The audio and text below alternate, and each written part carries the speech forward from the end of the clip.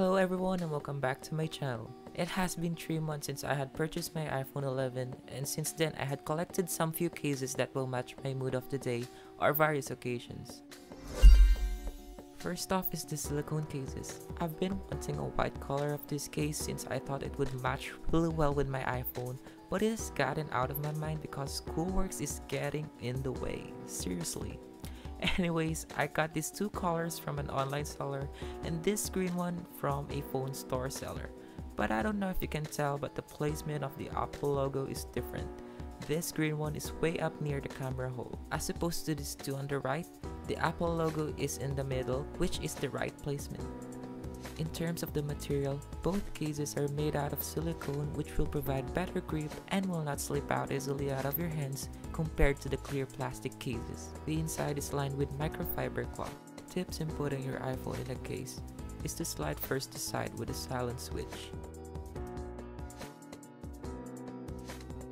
Once done, press firmly on the top right side, then the bottom right side. This will ensure the longevity of the sound switch as well as the side buttons. So this is how the black color looks like. Then this is how the blue color looks like. And then this is how the green color looks like.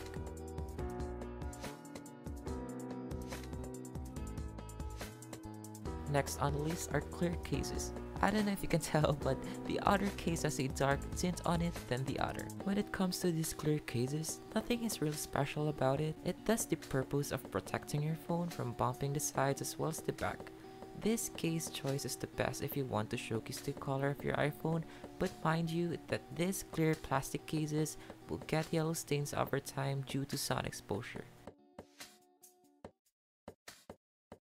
This is with a black tint on it, this is how it looks like. And then this is the regular plastic case or clear plastic case and this is how it looks like. So that's it for this video guys. I know this video is kind of short but yeah. And I hope you and your family are doing well, doing really well. So yeah guys, don't forget to like, share, and subscribe.